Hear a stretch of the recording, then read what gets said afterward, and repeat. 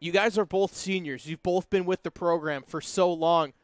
What does it mean to be league champs? Go ahead, Spence. Um, you know, just like the amount of work we've put into this, all of us seniors, you know, played together since four years. We started off, you know, we were we were pretty bad our Yeah. freshman year. We were one and nine, you know, and we, we really worked our way to this. Wake up at 5 a.m. in the off season, you know, we're all grinding for each other.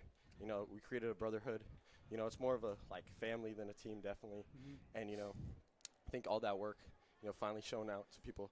Last year showed out a little. You know, we came up short in the playoffs, but you know, we're, we're looking to go far this year. So yeah. And Nicholas, how does it feel to be a league champ? Um, first, want to give glory to God, but man, it feels amazing. You know, we came a long way. Them 4 a.m. workouts, we just all we just all stuck through, and look at us now, league champs. Yes, sir. You got, you know, I was talking with uh, Coach Vienna earlier in pregame, and I said, you know, you guys went from being the underdog story last year to now you're top dogs. Everyone wants a piece of you guys. And what is that feeling like? Has it changed the way you prepare for games? Um, I think definitely a little bit. Like uh, we're expected to go out there and win games. You know, last year going in with that underdog mentality, it's easy to get energy, easy to get pumped up. But when you go up and you're favorites, you know, sometimes it's hard to get that energy. But I think because of how close we are, we know this is our last ride together, so we we can get it all going. So yeah. Yes, sir. What does it mean to be captains of this Decatur team? Both of you guys are captains, and you both really lead your group, Spencer on offense and Nicholas, you on defense. Um, I think just like, you know, all those guys, as we said, like it's a family. Mhm. So you know, they all trust me. They all love, e- like we all love each other. So you know, being a captain is just like kind of just making sure everybody's on point. You know, making sure my guys are going. You know, keeping them up. Yeah. You know, it gets it gets hard. You know, like in the past, if you're like up a lot, down a lot, you know, it's really hard to, you know, stay in those games. But I think those early seasons of us learning how to lose together really brought us together, and we know how to win together now. Yeah, Nicholas, do you have anything to add to Um, that? Yeah, uh, being captain is a great feeling. Uh, freshman year, I barely played, couldn't even get in a three-point stance, and uh, I'm a captain now. So, yeah, I, I just love all my guys. You know, yeah, I just want the best for them too. Well, uh, Nicholas, you really utilized the three point stance effectively. You're in there in the backfield a ton tonight. Uh, what was the defensive game plan? Honestly, just straight hands, hands, hands. That's all we were going through the practice. We knew White Rivers wasn't no joke. Like they're a four and two team, so we had to really take them serious. Like the score was 26. Like, it was a it was a good game. Yeah, it, it was a really good game, but the defense for you guys, 12 straight quarters where you held opponents scoreless. First off, did you even know that? And secondly, are you guys really starting to find a rhythm defensively? Yeah, honestly, I think we got the best front seven in the state. To be honest, especially with Nehemiah back, it's crazy. I, I believe we have the best front seven in the state.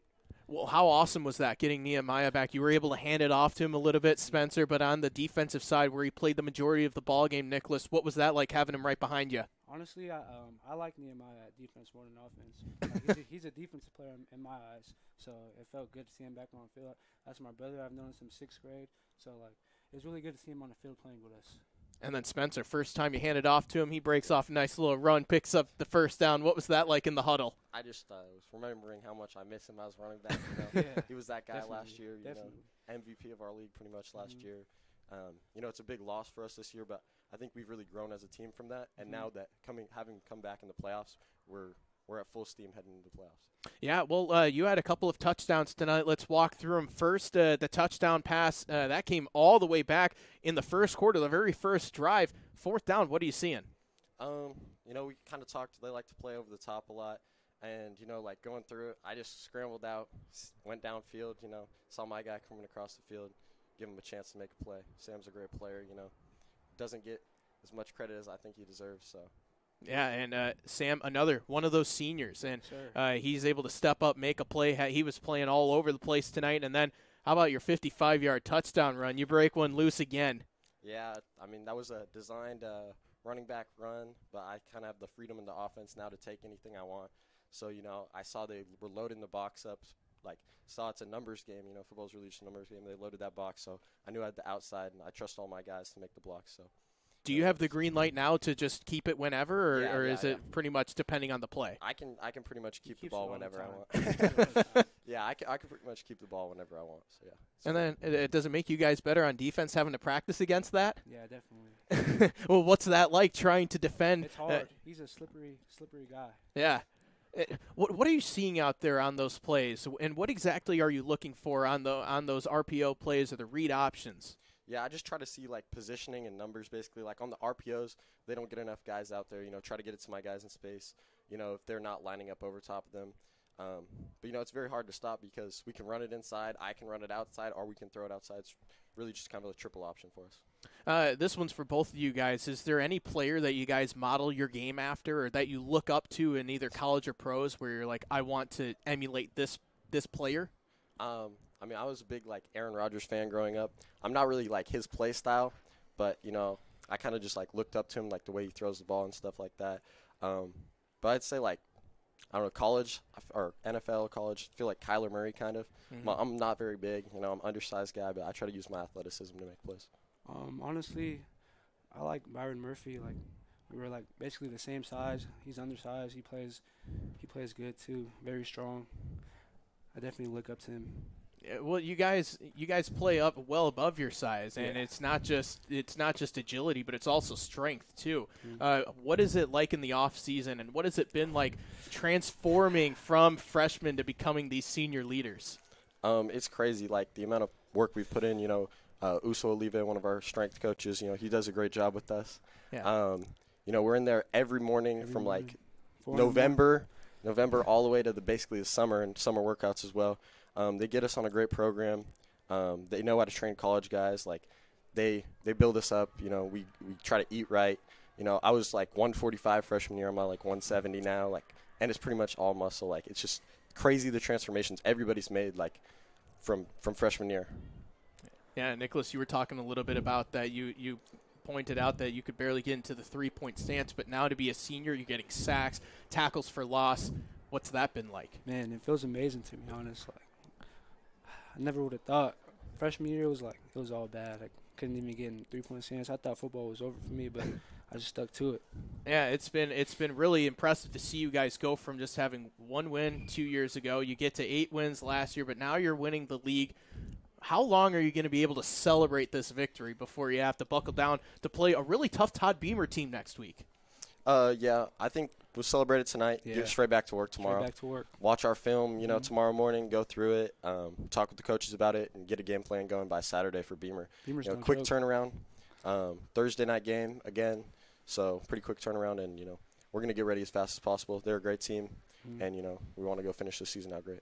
Uh, Nicholas, you are you just said you know Todd Beamer's no joke, and it, it's going to be another battle out here. And uh, do you know anything about their offense yet? Just the quarterback. He's really like all they got. Mhm. Quarterback's really nice. Yep. So you you practice against the quarterback quite a bit, so you might have a little bit of an advantage there in practice. Mm-hmm.